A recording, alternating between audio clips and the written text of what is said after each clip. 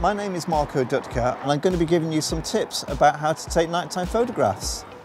This started out as a personal project and then once I got a body of work from it, I was able to take that round to people and to actually put together a project that goes to the heart and soul of, of why I take photographs. But it's actually say really expanded what I can do photographically and really expanded what I can do conceptually. So if you have a great idea, this is why you should be doing personal projects. It's been incredibly satisfying and I hope that the final exhibition will make people think about the, the concepts and the ideas and society that they live within. I've got a particular kind of equipment here I'm going to quickly run through just to show you what I actually use. This technique is called dragging the shutter